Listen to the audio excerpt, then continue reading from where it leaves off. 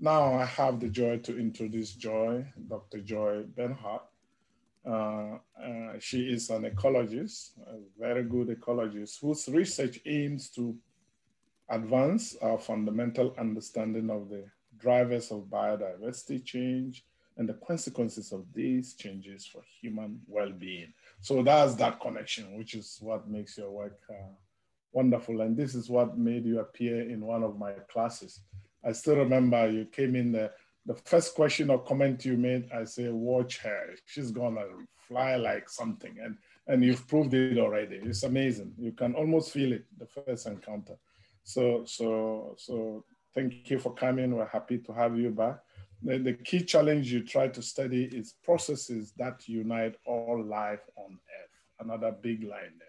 What unites all life on earth, whether you're a human being or you're a whale or you're a little fish, I mean, or a plant for that matter. Beautiful line. And uh, the more we understand that, better for us and our planet. You continue to combine theory experiments and synthesis to study how living systems change as the environment changes and what these changes mean again for human well-being. So your, your ecology is connected to really the well-being of people, which is super. Now, Dr. Bernhardt uh, is currently a postdoc uh, at Yale. Uh, your title is Hutchinson Postdoctoral Fellow uh, at Yale University in the Department of Ecology and Evolutionary Biology, very famous department and famous university. So this is all good science.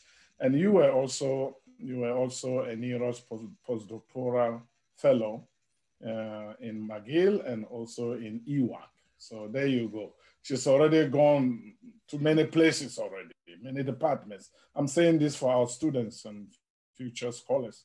Just see the profile and how she's built it up up to now. But more importantly, she's actually our graduate. Yeah, she did a PhD here at uh, Dr. O'Connor's lab, Mary, uh, at the Biodiversity Research Center, and that's how you came to my class. I think already you have started accumulating awards, and it's impressive already. And again, I always think of our, our, our future scholars if you want to win big awards, you better win the small ones. You started winning awards at grade school or, or, or and then the first degree, second degree, and your latest one is actually the L'Oreal UNESCO NSEC Women in Science Award. That is beautiful. Well done. And I'm happy that you are here. Everybody, now it's your turn to tell us something new. Thanks.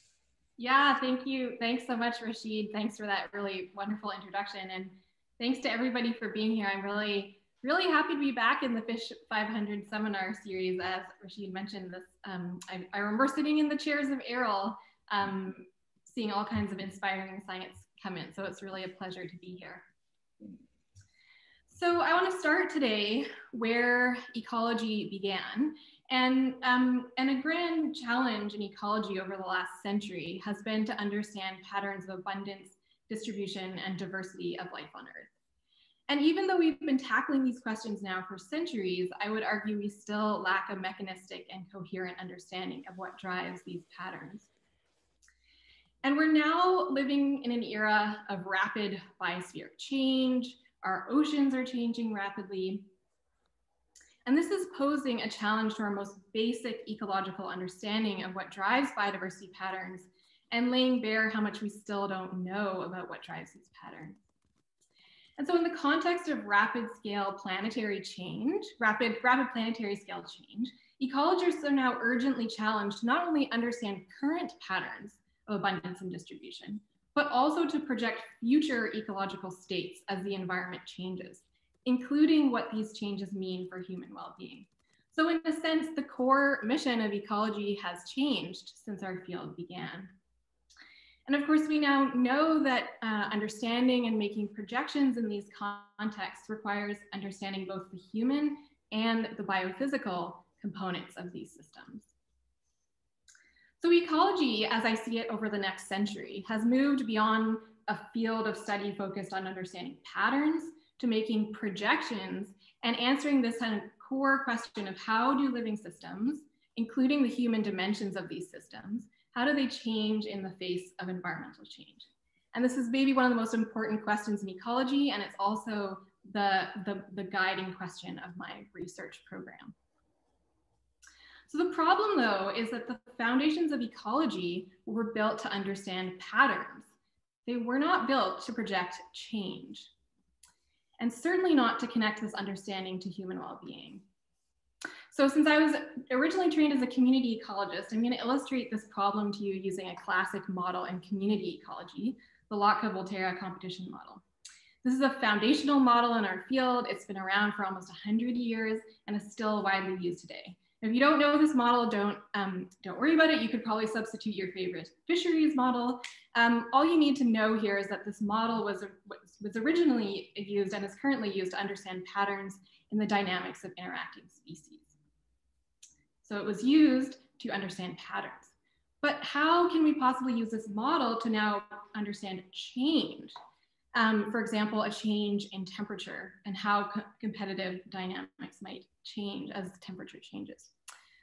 Well, we can see that this is sort of a tricky problem because the model as I'm showing you here was not built to understand environmental change. There are no, for example, terms here that relate directly to temperature. So we want to use this sort of approach to understand change. We might want to think about how each component of this model respond to temperature. So for example, we might focus on these alpha terms here, which are known as the competition coefficients. These capture the strength of competition. Um, but the alphas here are a bit of a black box. So how, how can we possibly, um, how can we sort of decompose these alphas into underlying mechanisms? We might imagine that to understand how to predict how competition changes with temperature among two interacting species, we might actually need to know how the individual populations respond to temperature. And to do this, we might actually need to understand how individual organisms within those populations are responding to temperature. So we can see that in order to make predictions in the context of changing environments, we often need to understand processes operating at lower levels of biological organization. And this is actually a general feature of developing a mechanistic understanding of change in ecology and evolution. That is that it requires understanding processes operating at multiple scales. So if we go back to this challenge, this major scientific challenge of projecting future ecological states, what I wanna ask today is how can we possibly meet this challenge um, in the context, uh, in, that sort of in a way that sort of meets the urgency um, urgency of the problem. So I'm gonna uh, tell you a little bit about my vision for how we can meet this challenge. And this is the sort of central approach that I take in my work. So the first component of this approach is to focus on mechanisms, as I just mentioned. And I'm not going to suggest we should focus on all mechanisms. I'm going to suggest we should focus on unifying mechanisms. And what I mean by unifying mechanisms are those that operate across scales, across contexts, and across systems. The reason for this is that if we focus on these unifying mechanisms, this allows us to tackle these problems efficiently and lends great predictive power. I want to mention, of course, that there are many other ways of doing this and meeting this sort of addressing this challenge that don't rely on mechanism. And I'm very happy to talk about those um, if, if folks are interested later. The second component of this approach is going to require some intellectual risk taking, and it's going to require a commitment to sharing knowledge across disciplines. It's going to require us to connect understanding across boundaries, intellectual boundaries, disciplinary boundaries, national boundaries, and cultural boundaries, and to use established tools in new ways. And my perspective here is that when, when you're sort of committed to these core values of sharing knowledge and connecting knowledge across scales and, and using established tools in new ways, this is gonna allow us to use to do the best possible science, which is gonna lead us to the most surprising insights and the most useful of discoveries. And so in my work, while I'm primarily trained as a community ecologist, I draw on understanding of processes across these scales. And a sort of central feature of my approach is to make connections across these scales. So today I'm gonna address three major challenges in the context of predicting future ecological states. And I'm gonna suggest that a solution to these challenges is to connect understanding across scales. So the first challenge that I'm going to address is projecting the consequences of aquatic biodiversity change on human nutrition and health. The second challenge I'm going to address is how can we project the dynamics of populations in a warming world? And the third challenge that I'm going to address is how can we explicitly confront the role of natural environmental variability at various timescales? Okay, so the first challenge is how can we project consequences of aquatic biodiversity change on human nutrition and health? So one of the greatest challenges facing humanity is securing a sufficient and nutritious food supply, right? And for many of the world's 7 billion people, food security is an ecosystem service or a benefit that's provided by aquatic ecosystems. And I'm showing you this map here because I want to point out to you that uh, reliance on seafood to meet nutritional demands is not evenly distributed across the globe. I want to um, draw your attention to this orange box in the middle, which is which points to tropical coastal regions, which are areas where we see high and increasing rates of nutrient deficiencies, high reliance on seafood for nutrition, and also high rates of marine biodiversity change. So this leads to the question then of how could biodiversity change affect human health and, and well-being? And of course, we know that that diversity in human diets is a pillar of, of, um, of, of healthy diets. Um, the quantitative and mechanistic links between biodiversity per se and human out health outcomes have not been established. And I would argue this is primarily because biodiversity science has operated largely independently from nutrition and health science. So what I'm going to show you is that when we sort of merge these two fields, we can actually um, gain new insights into this problem. So aquatic species are of course valuable in the human diet, not only as a source of calories and protein, but they're also, their tissues are rich sources of micronutrients, which are scarce in the human diet, yet required for, for adequate health. And so when it comes to understanding uh, the health benefits from seafood, this isn't just a matter of predicting yields. Um, and we can measure the nutritional value of a particular species to the human diet by quantifying the concentrations of these, uh, these uh, micro and macronutrients in the tissues of in, in the tissues of the edible portions of fish species and compare those to widely established public health guidelines. And what I'm showing you here is a metric called recommended dietary allowance. Uh, if you've ever looked at the side of a cereal box, you're probably familiar with this, uh, with this concept. It basically quantifies the amount of nutrient intake that's required to meet the, um, the needs of a particular demographic component of a human population. So one of the most important questions in ecology in the 21st century is, does biodiversity per se as measured in units of species richness or ecological functional diversity, does biodiversity distinct from the identities and abundance of particular species, does this actually enhance human well-being? So to address this question, we can draw on a very large body of ecological theory known as biodiversity ecosystem functioning theory uh, that, has, that has shown us both theoretically and empirically that there's a very uh, consistent pattern between um, or positive relationship between species richness and ecosystem functioning. Uh, and we can quantify the strength of this relationship between species richness and ecosystem functioning by fitting a power function to this relationship. And this scaling exponent here, B, tells us the, the, the magnitude of the biodiversity effect. So what we did here was to draw on this body of biodiversity ecosystem functioning theory and apply it in the context of human nutrition and seafood.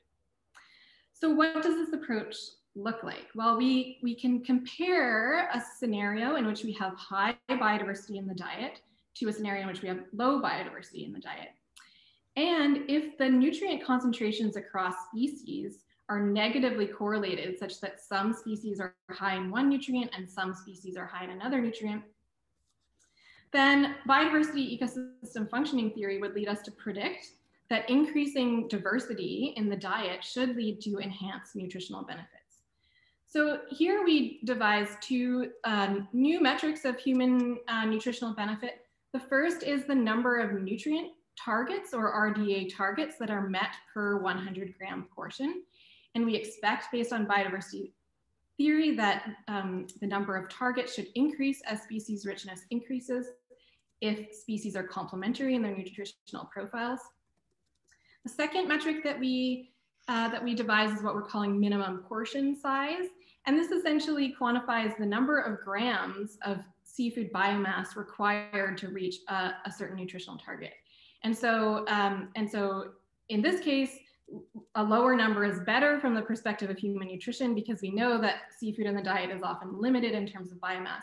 So being able to reach a nutritional target more efficiently is an important component of nutritional benefit. We can then extend this understanding to human well-being um, by predicting that uh, if, if these nutritional benefits are enhanced in, in these ways, this should lead to a larger proportion of the population meet, meeting uh, their RDA requirements. Okay, so we address this question by compiling a very large database of uh, tissue, nutrient, and contaminant concentrations, as well as ecological traits in more than 800 species of commonly consumed uh, seafood. Uh, we restricted this analysis to only wild finfish species. We also restricted it to species for which we could identify which body part was included and those observations that we could identify all the way to, to genus and species.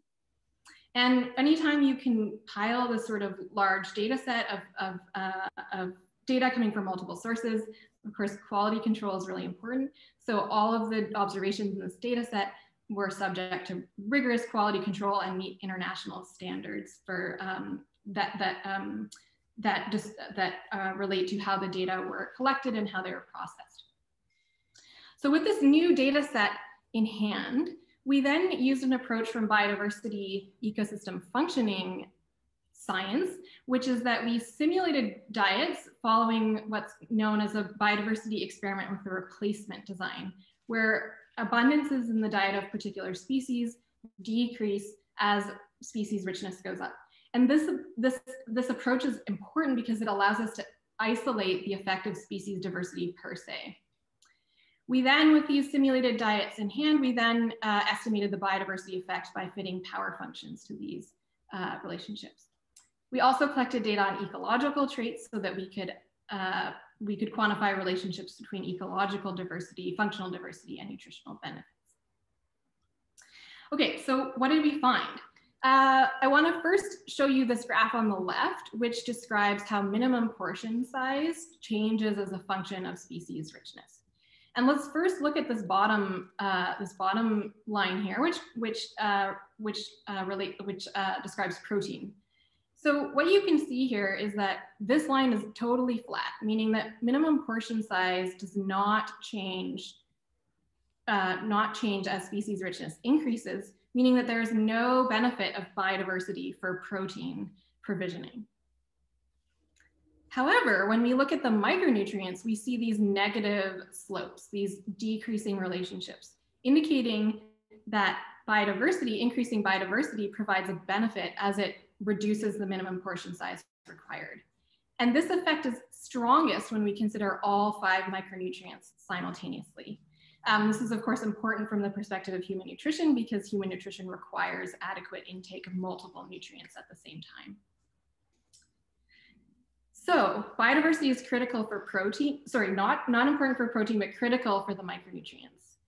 We also found that the number of RDA targets met per a standard 100 gram portion increases with species richness, which is another component of uh, nutritional benefit. Okay, so one of the most surprising and exciting findings from this work is that we discovered that the underlying mechanism that drives these differences between protein being independent of biodiversity and micronutrients like calcium being strongly dependent on biodiversity is the actual distribution of these traits within aquatic assemblages. So what I'm showing you here is the number of species and, and their, um, and their uh, protein concentrations. And what you can see is that protein is protein concentrations are actually fairly symmetrically distributed across aquatic assemblages, whereas calcium shows a very, very strong, strongly skewed distribution. And that means that increasing biodiversity means you're more likely to include one of these high performing calcium species and therefore biodiversity can, confers a benefit. But what's exciting about this is that we actually have a whole other body of theory in ecology that, that is about studying these trait distributions. And so now that we know that the trait distributions are critical to the biodiversity effect, we can connect this understanding to studying how trait distributions might change with other aspects of environmental change like climate change. And this gives us even greater predictive power. We also found that nutritional benefits don't are not um, are not uh, don't depend entirely or only on species richness. They also are associated with ecological functional trait diversity. And so here, what I'm showing you is that uh, the probability of reaching five micronutrient tar targets simultaneously per 100 gram portion increases as the trait diversity, the ecological functional trait diversity in the diet increases.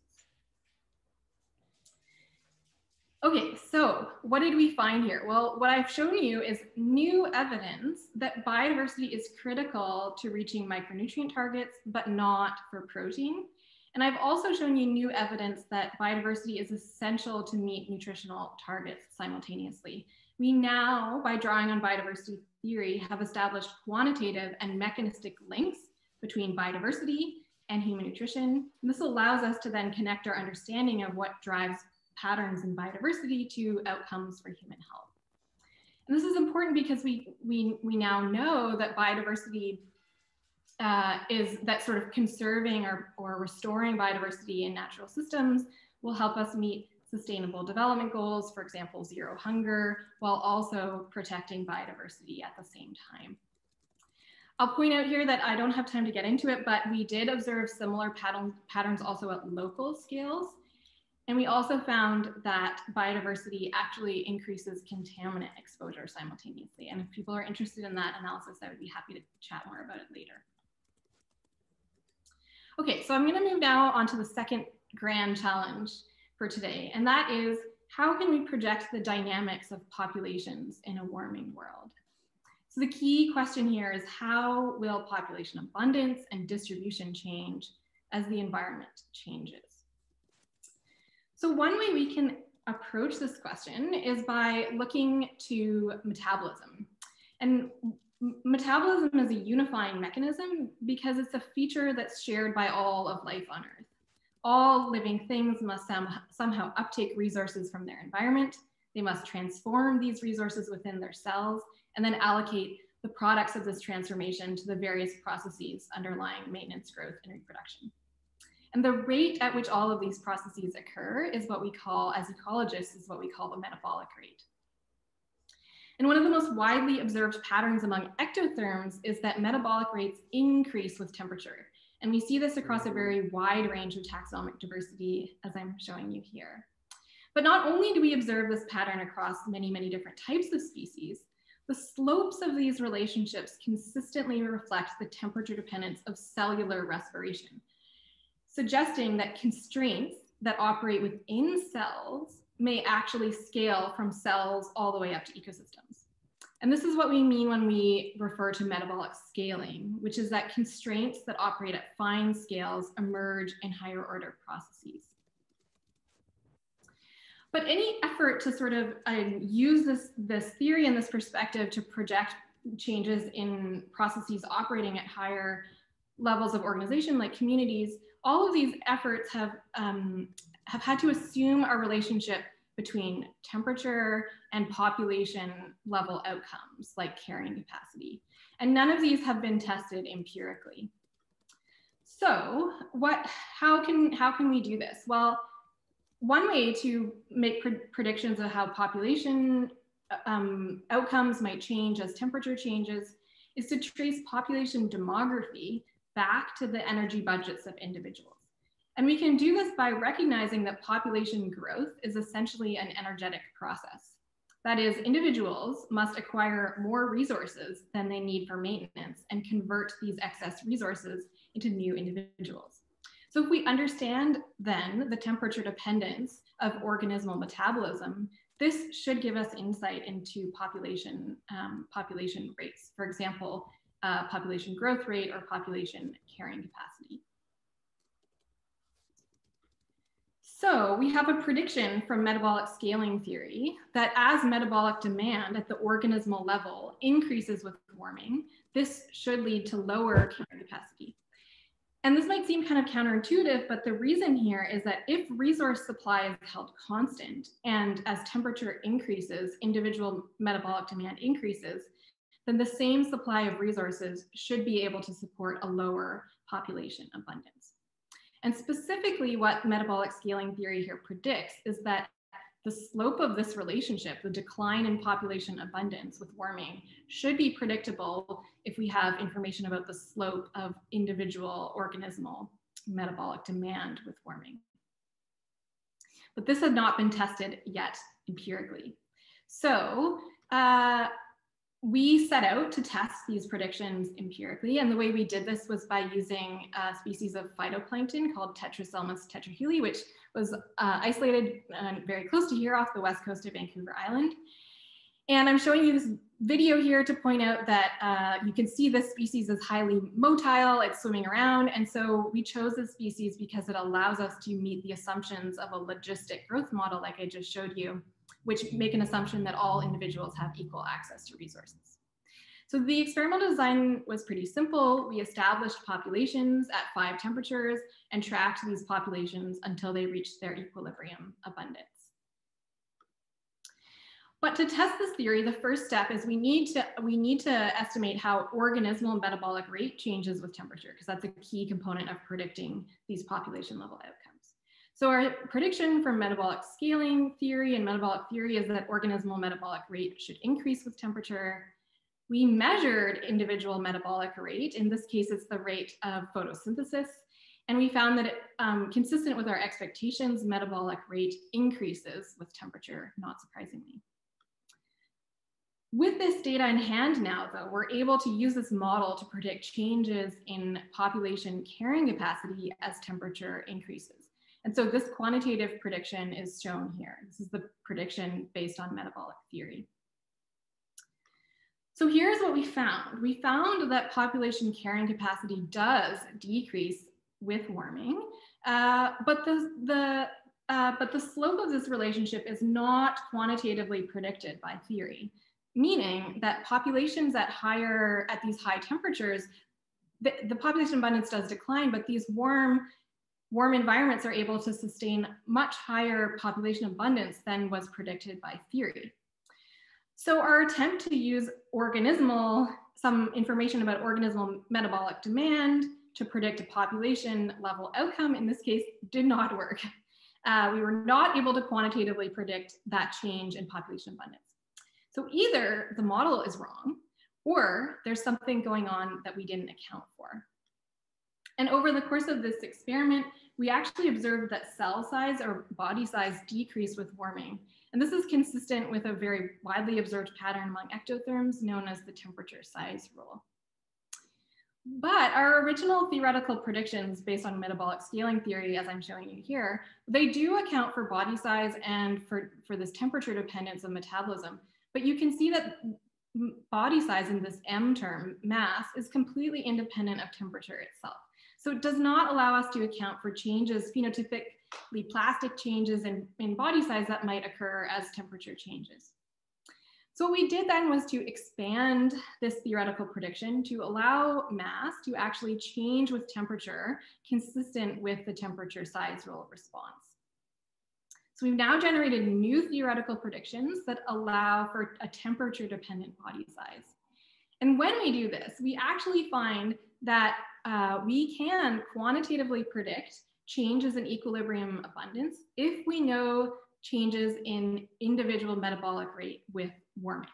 So what I'm showing you here now is the same data that I showed you before, but the, but the new theoretical prediction uh, that, that allows for body size to change with temperature is shown in the dash line. And you can see that we can quantitatively predict this change in equilibrium abundance if we understand how organismal metabolic demand changes with temperature. So this is a really exciting finding because it's the first evidence that changes in population abundance with warming are actually mediated by changes in individual metabolic rates. And this is a very sort of leads to um, very uh, exciting insight because it allows us to now link our understanding of how organismal metabolic demands change with temperature and actually use that to make projections at the population level. Okay, I'm now gonna take a moment to, to point out that if we wanna make projections in changing environments, as I know many of, um, many of the folks in the IOF want to do, we need to consider evolution. Um, and so now that I've demonstrated to you that these metabolic traits are important and they're, they're useful to predicting population level outcomes, what we really need to know is how do metabolic traits themselves evolve in rapidly changing environments? This is very much an open question and it is critical to making accurate projections of population and community level changes. So I address this question using experimental evolution in response to rapid environmental change in resource availability. So we know, of course, that it, concurrent with changes in temperature in the oceans, we're also expecting changes in resource supply. Um, so I, we set up an experiment in which we, we imposed rapidly changing resource environments by manipulating the concentration of nitrogen, phosphorus, and light within these, uh, these chemostats. And after the period of experimental evolution, we quantified evolutionary change in minimum resource requirements uh, for light, nitrogen, and phosphorus. And minimum resource requirements are uh, a key trait that operate at the individual level that also allow us to make projections at the population and community level. So based on evolutionary theory, we would predict that this uh, that evolutionary adaptation in resource traits should be subject to adaptive trade-offs. So I'll, I'll, illustrate that to you for you here. So um, in, in this case, minimum resource requirements are a situation where a lower value is better because being able to persist with less resources uh, is, is beneficial. So we would expect if, if adaptation is subject to trade-offs that if a particular population improves its uh, uh, competitive ability or lowers its minimum resource requirement for one trait, this should come at a cost of worsening in another dimension. And so if we look at evolutionary change in these two dimensions here, we should expect to see a negative slope that characterizes a trade-off between getting better in one dimension and getting worse in another dimension. However, we found no evidence for adaptive trade-offs here. We were expecting a negative slope, what we actually found is a positive slope, which means that um, multiple competitive metabolic traits improved simultaneously. This is very much counter to what evolutionary theory predicts. And we think it might be because these traits are connected via metabolism. So for example, if a species is growing under very, very low light, it might need to invest more resources in chloroplasts, which are nitrogen rich, which might also make, um, make that species more efficient at using nitrogen. So it could be that when species are competing for these essential resources, the outcomes of evolution, at least over, over, uh, uh, in sort of rapidly changing environments, might be fundamentally different than what theory would predict. And the reason for this is that, as I mentioned, in rapidly changing environments, what we think might be happening is that species are, are still pretty far away from their sort of efficiency frontier. And this is, um, this is a, borrowing a concept from economics. Uh, what, what, we, what we're seeing here is that species or populations are able to improve uh, improve their competitive ability in multiple dimensions simultaneously. And this might actually be a general feature of adaptation in rapidly changing environments when populations are still far away from some sort of optimum. So this, this, this sort of forces us to reconsider our fundamental evolutionary predictions when it comes to understanding metabolic trait change in rapidly changing environments. Okay, I want to now move on to the third challenge, which is that, uh, that projecting future ecological states requires us to explicitly confront the role of natural environmental variability at various time scales. So I'll illustrate this problem to you with an example. So one very common way of making projections of future species distributions in the context of climate change is to scale up from estimates of organismal physiology or estimates of the fundamental thermal niche and to scale that up to make projections of future, uh, future patterns of, of, of species distributions.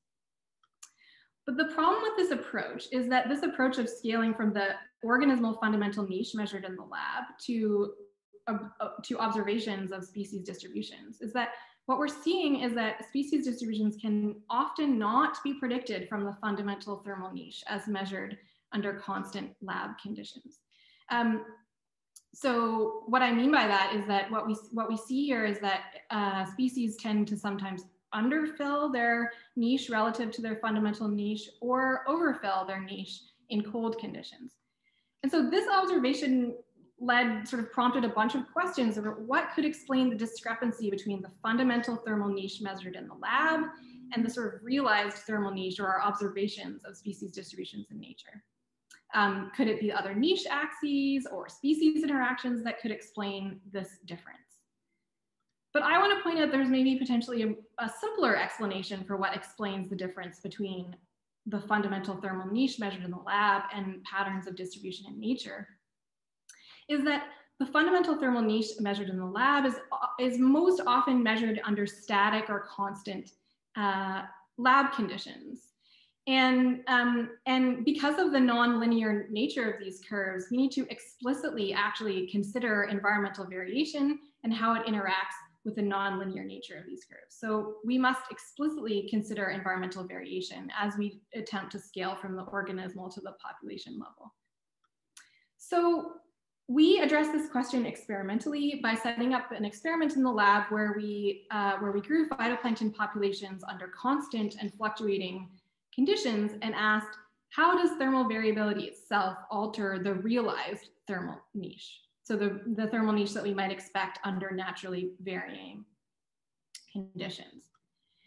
And what we found is that the, the, the thermal niche or the thermal performance curve measured under variable, uh, variable temperature conditions is systematically different than the thermal niche measured under constant conditions.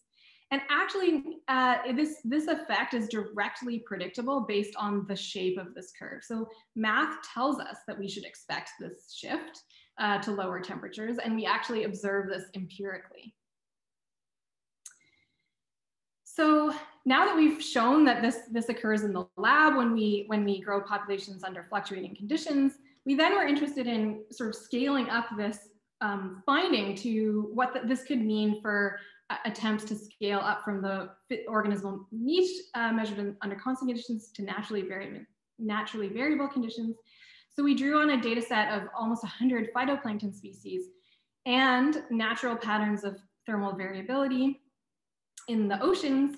And what we find is that for the vast majority of the species, if we account for natural patterns of environmental variability, the entire uh, thermal performance curve or, or the thermal niche actually shifts to lower, lower temperatures. And this is because most thermal performance curves are actually show this sort of um, negative skew. We had a few species in our data set that showed the opposite pattern, um, but these were quite rare. So what does this mean then? Well, what, what this means is that if we account for natural patterns of thermal variability, when we scale up from the organismal to the population level scale in naturally varying environments, accounting for thermal variability alone can potentially explain discrepancies between the fundamental niche and patterns of species distributions. And this is actually a much maybe simpler explanation for what sort of explains these discrepancies than, um, than other, other sort of hypotheses related to species uh, interactions and, and that sort of thing. Okay, I'm now gonna just briefly touch on some new work that I'm doing that addresses a related challenge, which is how can we understand how living systems more generally persist in fluctuating environments?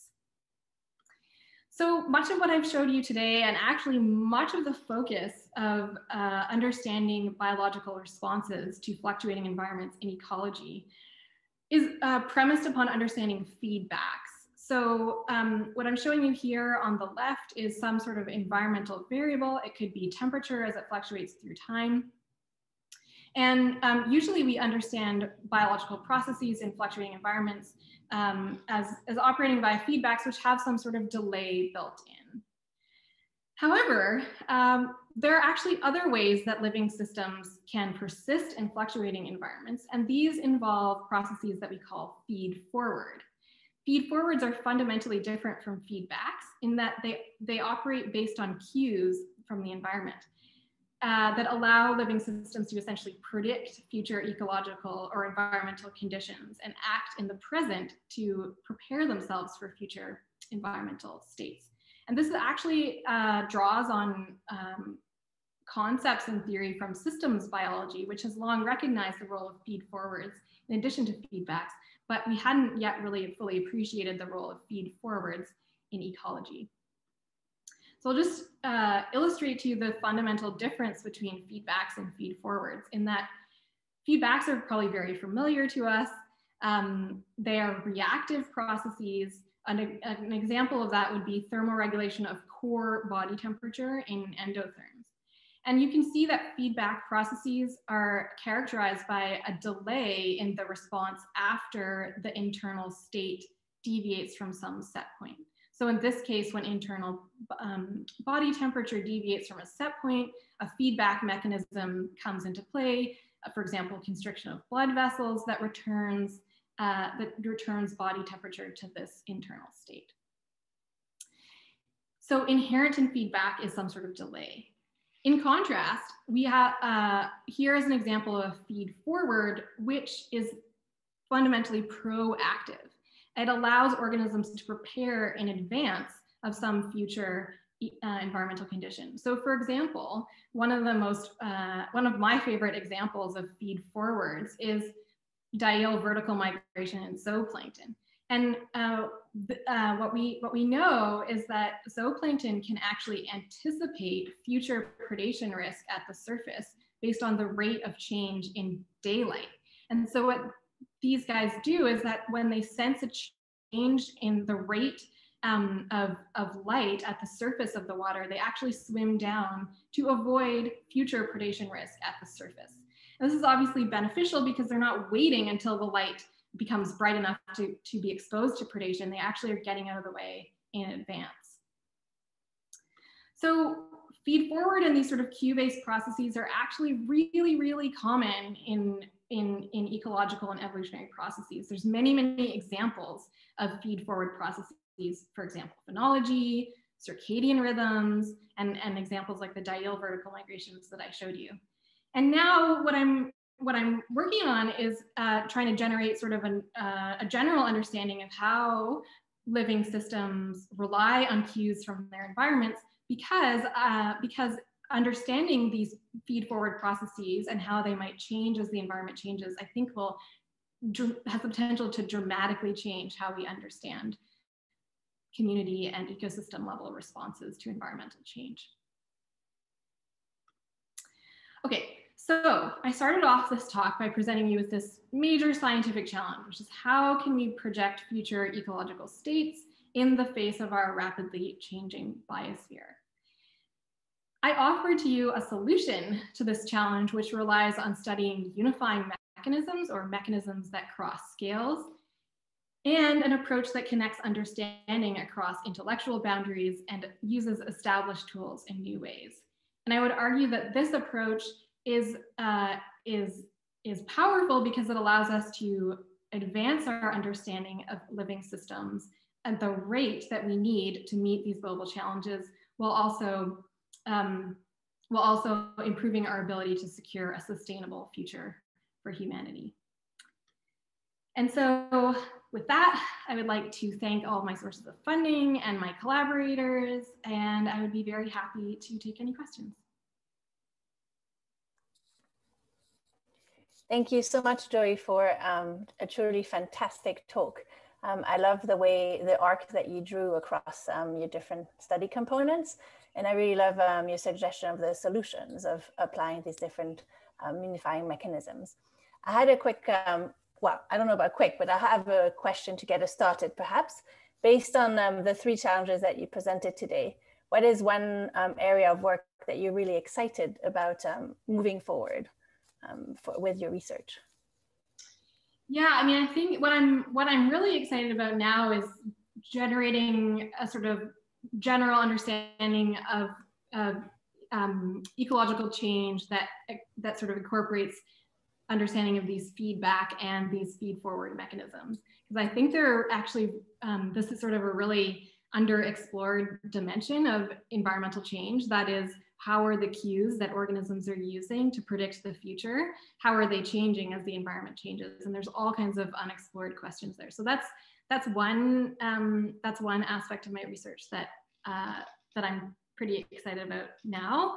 Um, and then the other is um, is extending our understanding of the nutritional benefits that we get from seafood over much longer time scales. So I'm now working to look into the deep past using paleo records to address how, um, how nutrient provisioning may have looked in, in sort of very long pre-human history, uh, and also how it might change into the future. And I agree, and, and I confess I'm a bit biased, but that would be super fascinating. Yeah. Um, so I have a, a question here from um, Jocelyn. Jocelyn, um, I believe you can unmute yourself if you wish to ask your question. Um, so please go ahead.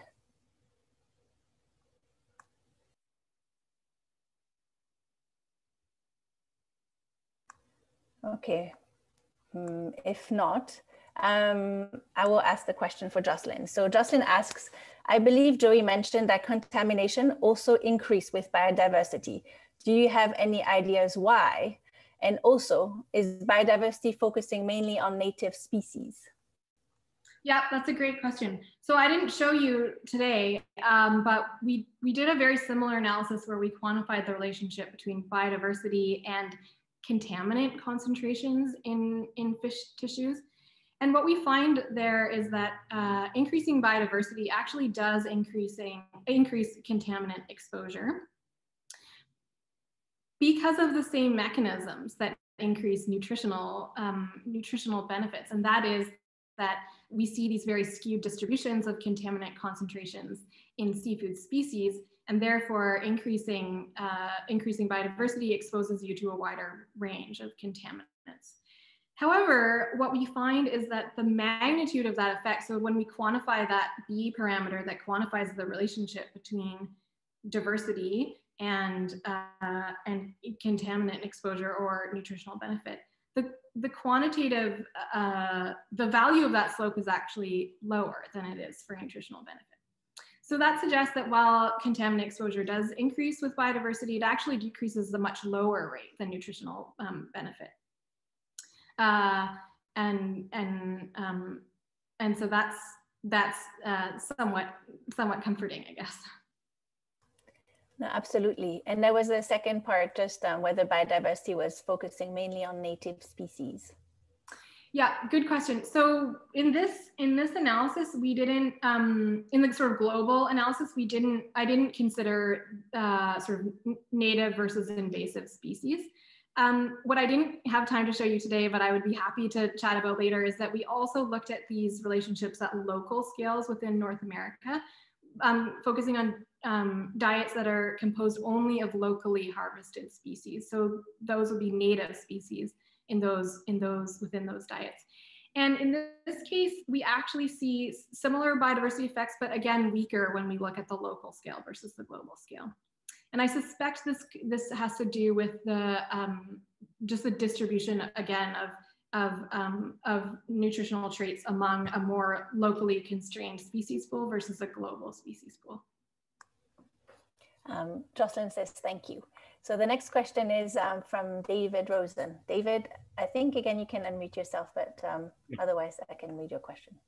Uh, thank you, Joey. That was a, a fascinating talk.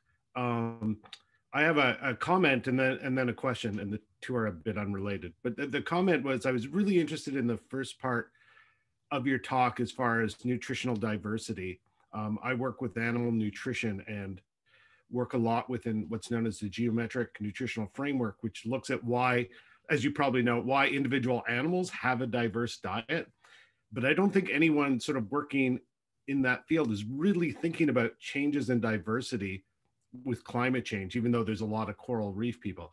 And so I'm definitely going to peg them to be looking at your research at, at, what the implications of that might be.